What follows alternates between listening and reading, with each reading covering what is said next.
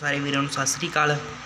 ਥੱਲੇ ਵੀਡੀਓ ਦੇ ਕਈ ਵੀਰਾਂ ਦੇ ਕਮੈਂਟ ਆਏ ਸੀ ਵੀ ਓਪਨ ਕਰਕੇ ਟਰੈਕਟਰ ਨੂੰ ਵੀਡੀਓ ਬਣਾਓ ਵੀ ਖੋਲ ਕੇ। ਭਾਈ ਹੁਣ ਖੋਲ ਕੇ ਤਾਂ ਵੀਡੀਓ ਬਣਨੀ ਨਹੀਂ। ਸਾਰਾ ਕੁਝ ਹੁਣ ਫਿੱਟ ਕੀਤਾ ਆ, ਮਰਗਾਟ, ਮਰਗੂਟ, ਸ਼ੋ, ਸ਼ੂ ਤੇ ਸਾਰਾ ਕੁਝ ਆ ਵੇਖੋ ਫਿੱਟ ਕੀਤਾ ਆ। ਹੁਣ ਖੋਲਾਂਗੇ ਤੇ ਟਾਈਮ ਬੜਾ ਲੱਗ ਜਾਣਾ। ਤੇ ਇਸ ਕਰਕੇ ਤੁਹਾਨੂੰ ਮੈਂ ਸ਼ੋ ਕੱਲੀ ਲਾ ਕੇ ਵਿਖਾ ਦਿੰਦਾ ਨਾਟ ਖੋਲੇ ਹੋਏ ਆ। ਆ ਤੁਸੀਂ ਦੇਖ ਲਓ। ਵਿੱਚੋਂ। ਬਸ ਆਪਾਂ ਇੰਨਾ ਹੀ ਓਪਨ ਕਰ ਸਕਦੇ ਹਾਂ, ਬਾਕੀ ਵੀ ਹੋ ਜਾਂਦਾ ਸ਼ੋ ਲਾ ਕੇ, ਤੁਸੀਂ ਸ਼ੋ ਲਾ ਕੇ ਐਵੇਂ ਦਾ ਲੱਗਦਾ। ਤੁਸੀਂ ਇਹਦੇ ਵਿੱਚ ਬੈਟਰੀਆਂ ਰੱਖ ਰੱਖੀਆਂ ਹੋਈਆਂ ਡੈਕ ਚ ਜਿਹੜਾ ਡੈਕ ਚੱਲਦਾ, ਲਾਈਟਾਂ ਲੂਟਾਂ ਜਗਾਉਣ ਵਾਸਤੇ ਤੇ ਆਪਣੀ ਆ ਸ਼ੋ ਐ ਰੱਖੀ ਜਾਂਦੀ ਹੈ ਸ਼ੋ ਨੂੰ ਵੀ ਅਜੇ ਰੰਗ ਕਰਨਾ ਆਵੇ, ਕਈ ਕਈ ਥਾਵਾਂ ਤੋਂ ਨਾ। ਰੰਗ ਲੱਥਾ। ਬਸ ਸ਼ੋ ਤੇ ਐਂ ਰੱਖੀ ਜਾਂਦੀ ਹੈ ਨਾਟਕਾ ਸਦੋ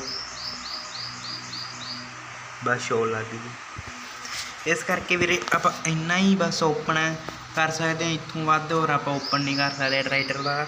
ਤੇ ਅੱਗੇ ਆਪਾਂ ਹੋਰ ਟਰੈਕਟਰ ਬਣਾਵਾਂਗੇ, ਉਹ ਵੀਡੀਓ ਵੇਖ ਲਿਓ, ਆਪਾਂ ਪਾ ਦਿਆ ਕਰਾਂਗੇ ਸੇਮ ਐਵੇਂ ਦੀ ਬਣਾਵਾਂਗੇ। ਠੀਕ ਆ?